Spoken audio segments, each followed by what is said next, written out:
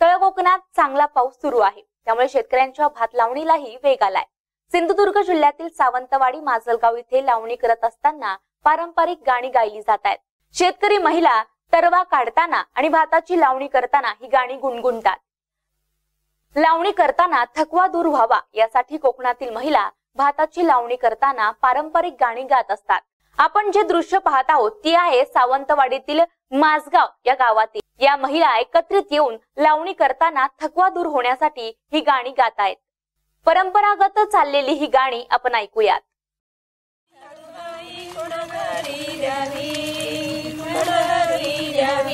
आमची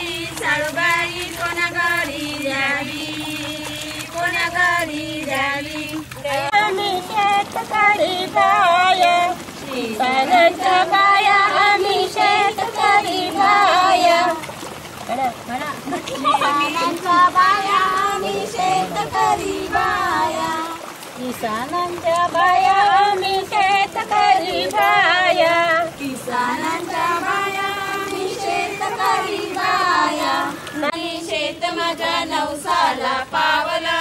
कुबेराचं धन माझ्या शेतात गावला। कुबेराचं धन माझ्या शेतात गावलं आताच्या आधुनिक काळात पारंपरिक पद्धतीची जपवणूक आणि जोपासना करण्याचं कार्य या महिला करतायत. काहींना ही गाणी त्यांच्या आजी आई यांच्याकडून देणगी म्हणून मिळाली आहेत. तर काहींनी हे आपल्या आजूबाजूला ऐकून शिकली आहे. काही महिलांचं बालपण या शहरातून असल्यामुळे त्यांना ही पारंपरिक पद्धतीची गाणी माहीत आहेत. तसेच काही महिलांना पारंपरिक पद्धतीने गायली जाणारी गाणी माहीत नव्हती. तसेच शेतीबद्दल फारशी माहिती नव्हती. मात्र या ठिकाणी आल्यावर महिला समवेत शेतीबद्दल माहिती मिळाली आणि आवड निर्माण झाली. किंवा महिला मंडळाचे जे काही सांस्कृतिक कार्यक्रम आहेत ते सगळे मला त्या ह्या लोकांनी शिकवले. आणि मी यांच्या सहभागी करून आता मी यांच्यावर शेती करते बचत गटाची कामं करते. आता ग्रामसंघाची पण मी कामं करते. लहानपणी लावणी केव्हा लावली नसते. नाही, माझा पूर्ण- मला इथे बरं वाटलं. मी ह्यांच्यावर सहभागी होऊन लावणी वगैरे सगळे लावायला शिकले. शेती कशी करायची? त्याचा अनुभव घेतला. आता मी ह्यांच्या जोडीनं लागून मी सगळी शेती वगैरे सगळं करते. मी आमचा एक ग्रुप तयार केला आहे त्याच्यात सांस्कृतिक प- परंपरा जपणं.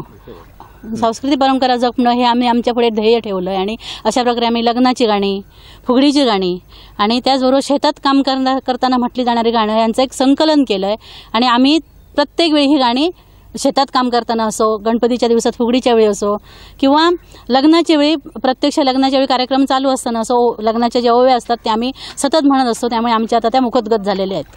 तरुण पिढी आता कुठेतरी शेतीकडे वळत वळत नाही आहे.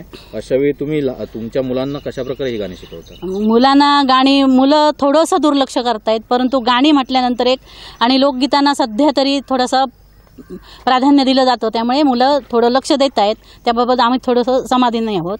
पण ज्या फुगड्या वगैरे शिकायला हवेत त्या मनाने आमचं मुलं तेवढाच आम्हाला प्रतिसाद देत नाहीत. याचं थोडंसं दुःख वाटतं. ही परंपरा केव्हापासून चालू आहे आणि कशा प्रकारे तुम्ही यापुढे सांभाळणार ही परंपरा चालू आहे केव्हा कोणी सुरू केली हे माहीत नाही कारण म्हणूनच ती परंपरा आहे.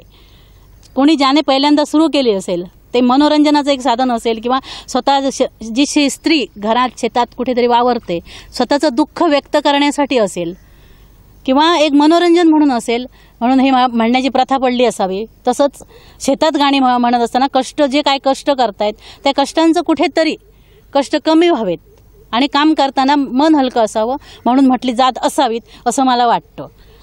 शेतात काम करताना तुम लावणी करताना ही तुम्ही गाणी म्हणता ही कशा प्रकारची असतात? म्हणजे काय त्यातनं आनंद तुम्हाला काय मिळतो? लावणी करताना आम्ही काहीतरी एक नवीन निर्माण करतो एक सृजनाचा आनंद ह्याच्यातून आम्हाला मिळतो. आम्ही काहीतरी नवीन करतो आम्ही स्वतःसाठी आणि दुसऱ्यासाठीही काहीतरी निर्माण करतो निसर्गाचं रक्षण करतोय.